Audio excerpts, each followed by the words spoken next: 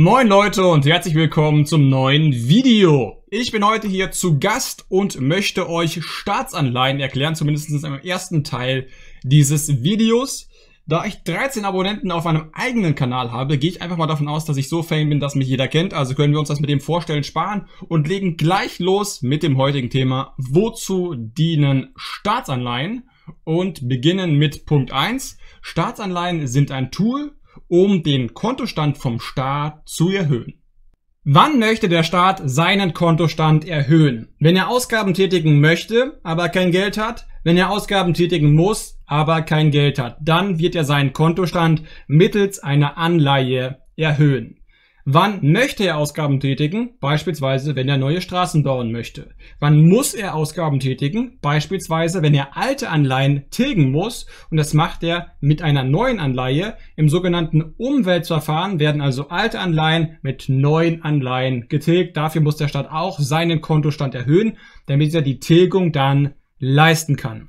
Wir werden uns jetzt ausführlich den ersten Fall anschauen. Was passiert, wenn der Staat beispielsweise Straßen finanzieren möchte mittels einer Anleihe, weil das wesentlich interessanter ist, weil hier viel mehr in den Bilanzen passiert. Und deswegen schauen wir uns das an. Wenn ihr das verstanden habt, dann habt ihr auch den leichteren Fall verstanden, was passiert, wenn der Staat so eine olle alte Anleihe mit einer neuen Anleihe bedienen möchte. Das ist also wesentlich einfacher. Schauen wir uns dann auch noch an. Wir haben also jetzt festgestellt, okay, der Staat wird eine Anleihe herausgeben, um seinen Kontostand zu erhöhen.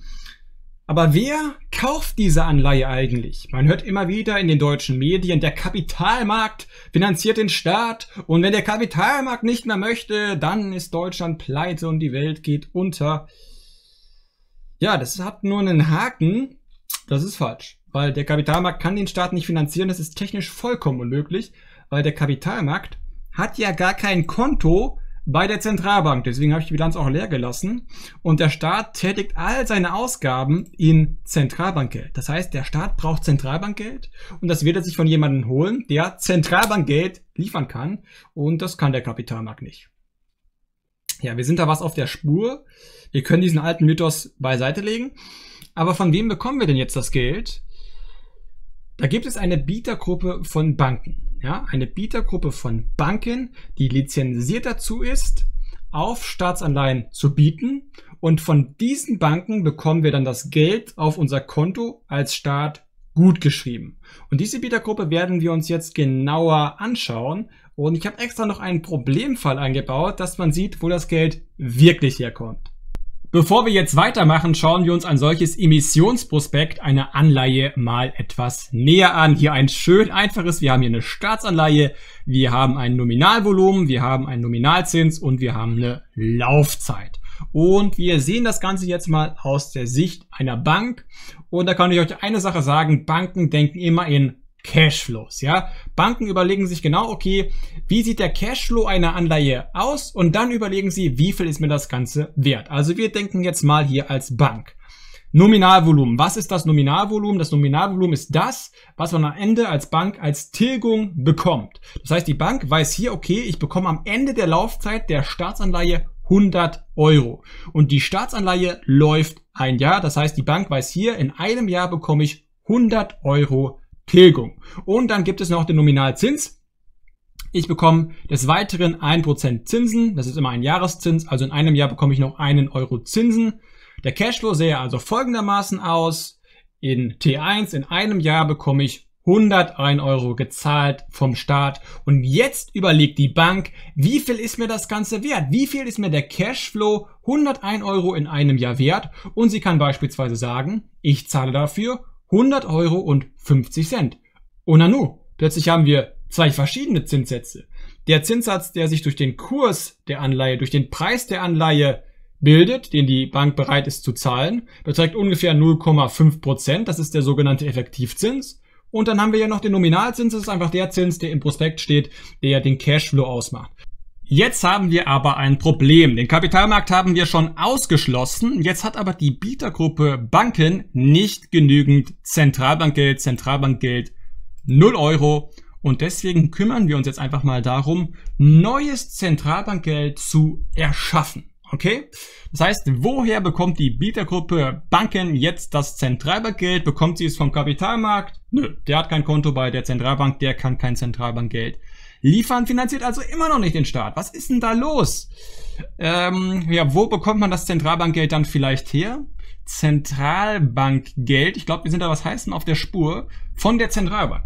Wir bekommen also das Zentralbankgeld als Bank beispielsweise von der Zentralbank. Wir können es uns auch untereinander hin und her schieben unter den Banken. Am Interbankenmarkt wird Zentralbankgeld hin und her geschoben. Aber wir gehen vom Fall aus, dass neues Zentralbankgeld entsteht und das kann nur die Zentralbank.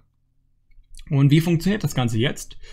Die Bietergruppe Banken gibt 100 Euro ihrer Staatsanleihen ab an die Zentralbank. Die Zentralbank hat also jetzt 100 Euro mehr Staatsanleihen in ihrer eigenen Bilanz plus 100 Euro.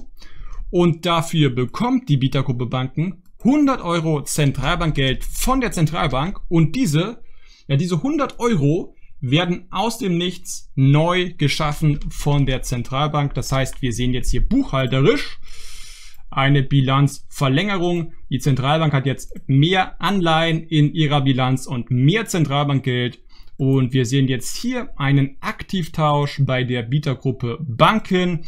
Durch die makroökonomische Lupe geht hier natürlich ein bisschen was verloren. Es ist aber makroökonomisch legitim. Ich werde gleich auch nochmal auf die mikroökonomische Seite eingehen. Wir haben da ja verschiedene Kreditinstitute, die alle mit Profitorientierung auf diese Anleihe bieten. Aber wir erkennen jetzt hier schon, wir haben jetzt das nötige Zentralbankgeld uns geliehen von der Zentralbank gegen 100 Euro Staatsanleihen. Jetzt haben wir es also geschafft. Die Bietergruppe Banken verfügt über genügend Zentralbankgeld, um die Anleihe zu ersteigern.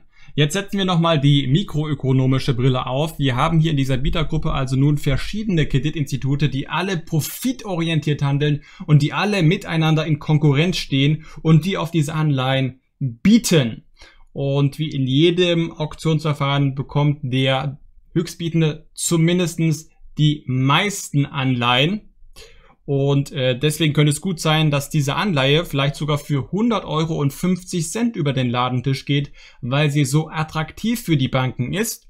Wir gehen von einer einjährigen Anleihe aus. Wo läge dann der sogenannte Effektivzins? Die Bank muss nun 100 Euro und 50 Cent bezahlen. Der Kontostand vom Staat würde sich um 100 Euro und 50 Cent erhöhen und bekommt in einem Jahr 100 Euro Tilgung plus 1% Zins zurück. Ja, der Effektivzins läge dann ungefähr bei 0,5%. Deswegen weicht der Effektivzins häufig vom Nominalzins, von dem Zins, der im, im, im Emissionsprospekt steht, ab. Dass man das also auch nochmal verstanden hat. Wir gehen jetzt der Einfachheit halber einfach mal davon aus, dass äh, diese Anleihe genau für 100 Euro über den Ladentisch geht. Nun nimmt das Zentralbankgeld hier wieder um 100 Euro ab in der Bietergruppe und äh, die Staatsanleihen nehmen wieder um 100 Euro zu. Und nun ist die Anleihe neu tatsächlich äh, kein Fragezeichen mehr, sondern wir haben sie versteigert. Wir finden sie jetzt hier in der Bilanz extra nochmal ja für euch hier speziell ausgewiesen, dass man es erkennt und haben jetzt hier einen Kontostand über 100 Euro, weil wir also diese Anleihe an die Bietergruppe versteigert haben. Wo hat die Bietergruppe nochmal das Zentralbankgeld her? Ja, von der Zentralbank. Also es wurde neues Zentralbankgeld geschaffen von der Zentralbank und dieses Zentralbankgeld ist jetzt über die Bietergruppe Banken beim Staat angekommen. Nun sehen wir, die Bietergruppe Banken hat jetzt kein Zentralbankgeld mehr. Das ist jetzt hier komplett beim Staat angekommen. Muss die Bietergruppe Banken jetzt komplett auf dieses Zentralbankgeld verzichten? Überlegen wir mal. Eine Bank vielleicht schon, aber wir haben ja die makroökonomische Brille auf und wir sehen, dieses Zentralbankgeld wird wieder zurück in das Bankensystem kommen. Warum? Der Staat gibt keine Anleihe aus, nutzt dieses Tool nicht, um seinen Kontostand zu erhöhen, wenn er das Geld nicht ausgeben möchte. Das heißt, der Staat wird dieses Geld jetzt beispielsweise ausgeben, um Bauarbeiter zu bezahlen, die eine Straße für ihn gebaut haben. Und dann reduziert sich der Kontostand vom Staat natürlich wieder und er bezahlt damit den Bauarbeiter. Der Bauarbeiter hat jetzt das Konto bei einer Bank. Der Staat kann aber nur in Zentralbankgeld bezahlen. Also er schickt das Zentralbankgeld jetzt an die Bank.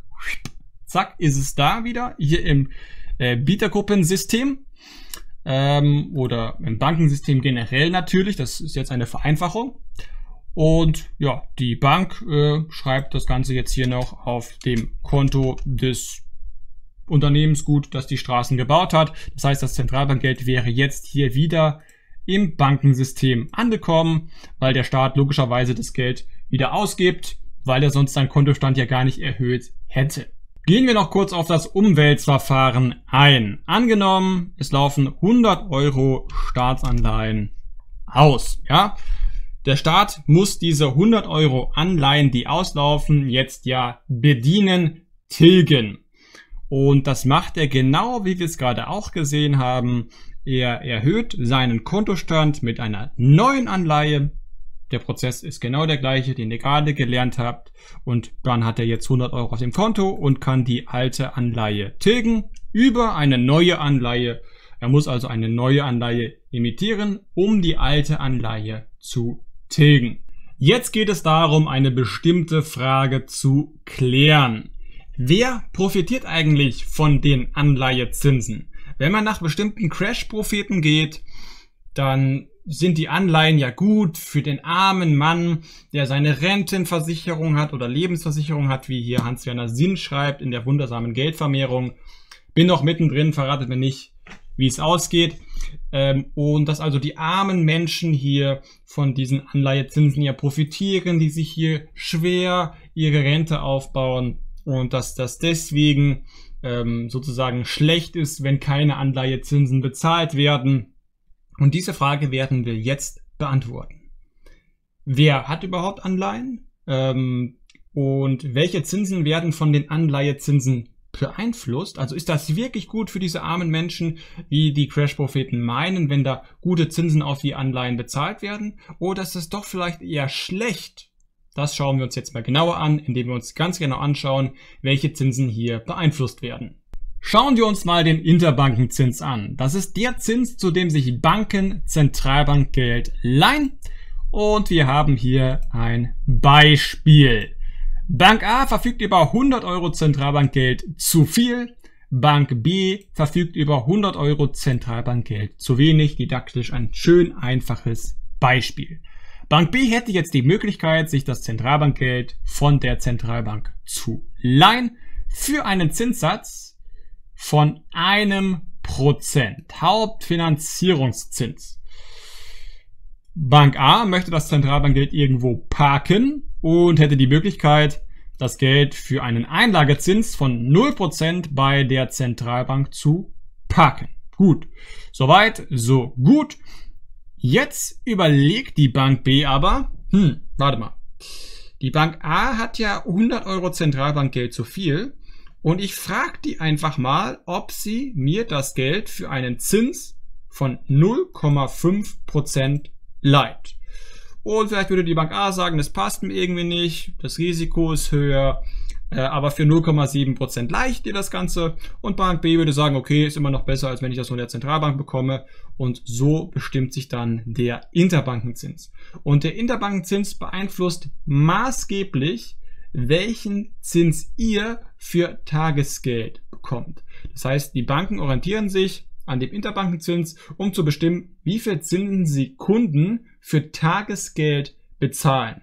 Denn jeder Kunde, der Geld auf das Konto einer Bank überweist, bringt immer Zentralbankgeld mit, wenn das Geld von einer anderen Bank kommt. Gehen wir nochmal ganz kurz das Beispiel durch, dass ihr also wisst, warum dieser Zins, den wir uns gerade angeschaut haben, den Zins beeinflusst, den Banken für Tagesgeld für Kundeneinlagen bezahlen.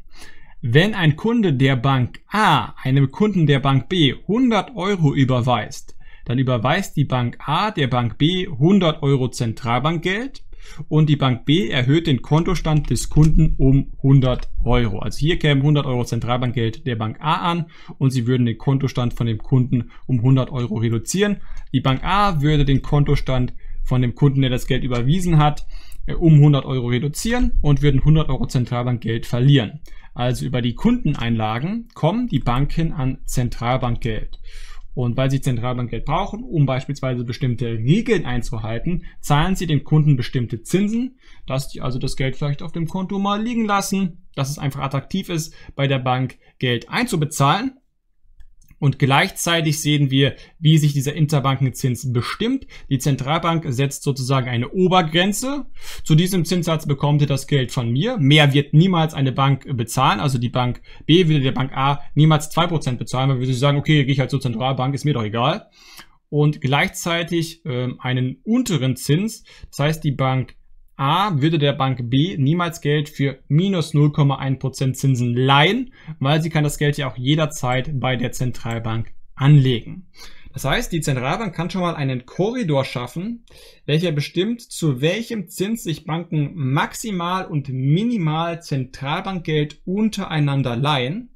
Und jetzt überlegen wir mal, wie sie sogar bestimmen kann, wo in diesem Korridor der Zinssatz liegt. Und das geht über unsere Anleihen. Ich habe euch mal ein Bild mitgebracht und das könnt ihr jetzt sehr gut nachvollziehen nach dem erworbenen Wissen. Jetzt ist die Realität leider ein bisschen komplexer als unser einfaches Beispiel mit zwei Zinssätzen. Da gibt es nämlich drei Zinssätze.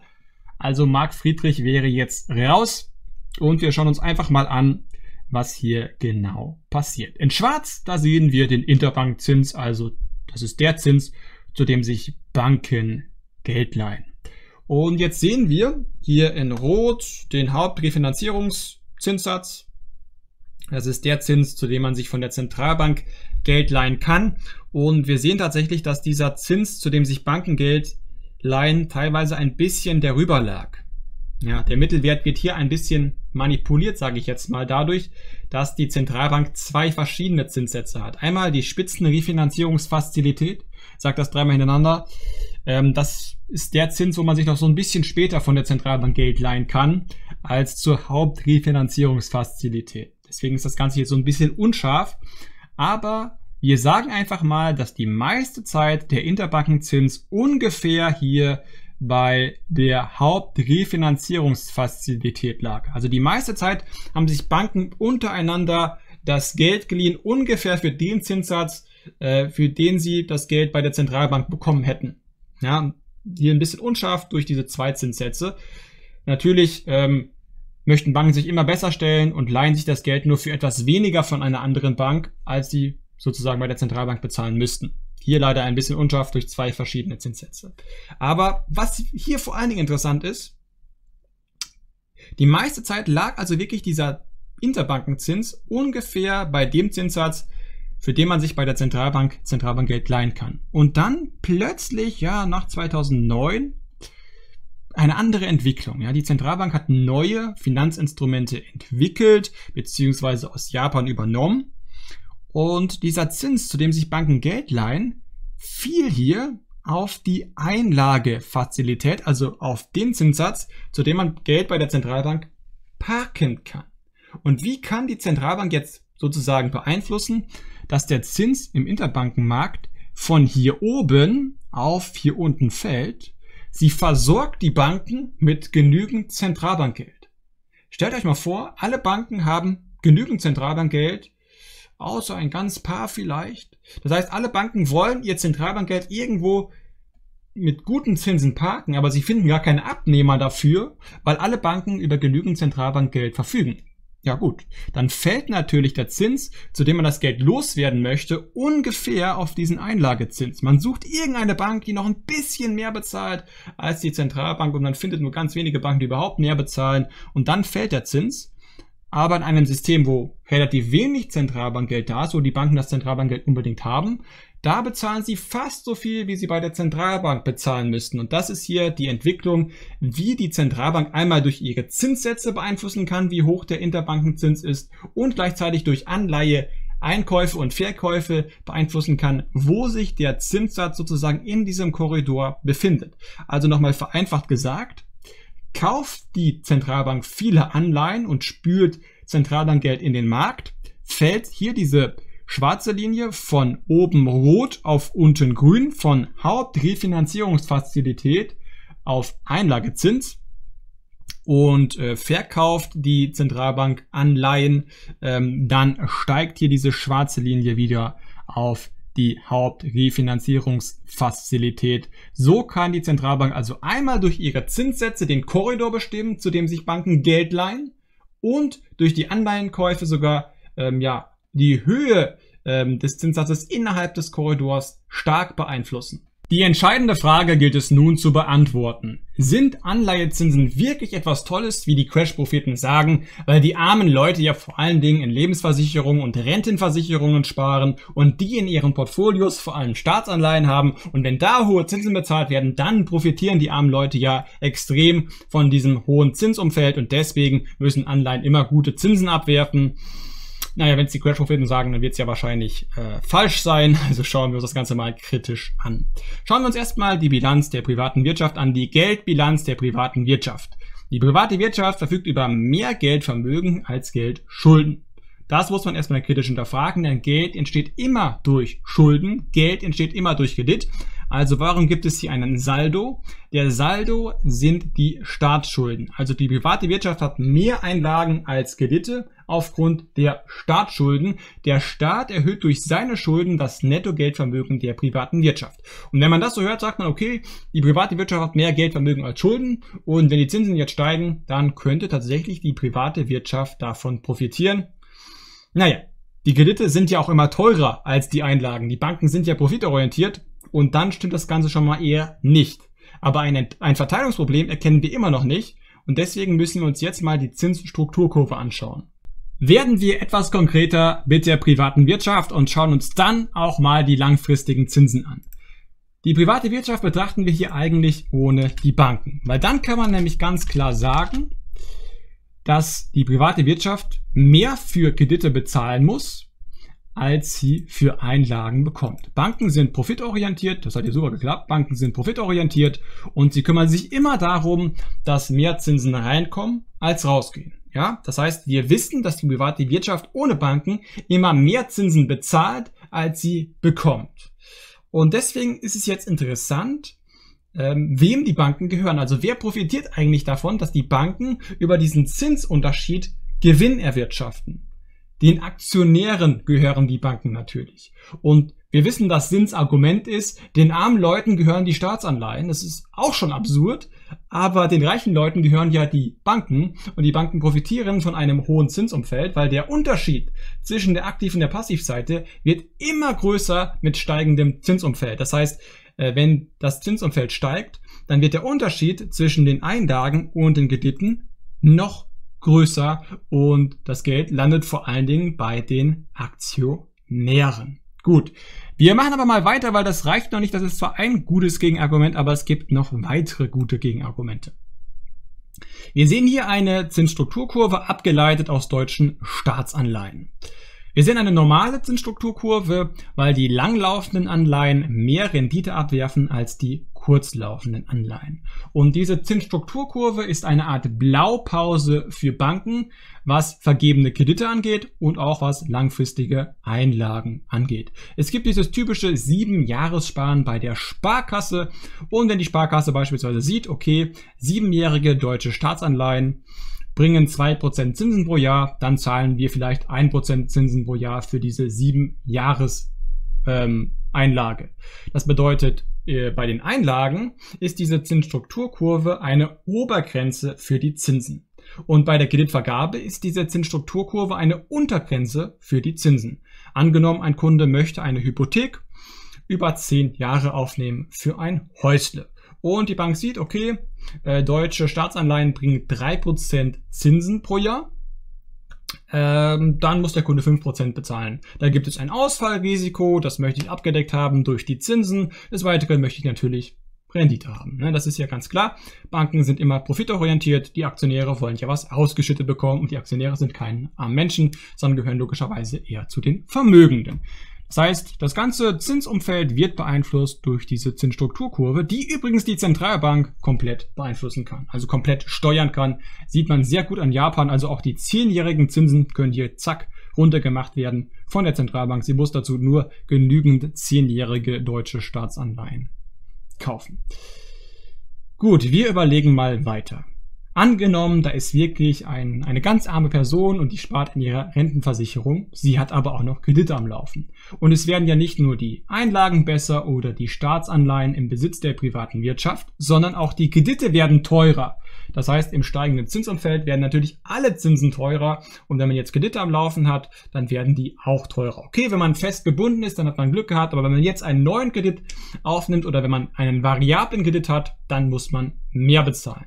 Und die armen Leute, die haben natürlich eher mehr Kredite als Einlagen. Das heißt, sie sind ähm, Nettozinszahler und die reichen Leute sind Nettozinsempfänger. Sie haben mehr Einlagen und mehr Vermögen, mehr äh, Aktien auch, natürlich mehr Anleihen, vielleicht sogar ähm, als sie Kredite haben. Und sie sind Nettozinsempfänger. Das heißt, ähm, Zinsen sind immer eine Umverteilung von unten nach oben. Unten die Leute haben eher Kredite am Laufen, müssen die Zinsen hier bedienen, äh, gehen jeden Tag hart arbeiten, damit sie irgendwie sich die Zinsen leisten können für ihr Häusle.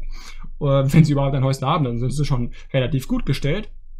Und oben die Leute, ähm, die haben Aktien, die haben Anleihen, die sind Nettozinsempfänger. Die arbeiten vielleicht auch, aber sie bekommen auch so die Kohle zugeschoben fürs Nichtstun. Genau, also das ist, ähm, wenn man äh, so das, was man sich hier anschauen kann. Damit gebe ich das Wort weiter. Ich glaube, das sind sehr starke Gegenargumente, äh, dass die Zinsen etwas Gutes sind für die armen Leute. Aber jetzt gebe ich das Wort erstmal weiter. Zum letzten Punkt möchte ich gleich zuerst etwas sagen. Es ist nämlich tatsächlich so, dass Zinsen immer eine Umverteilung von unten nach oben sind.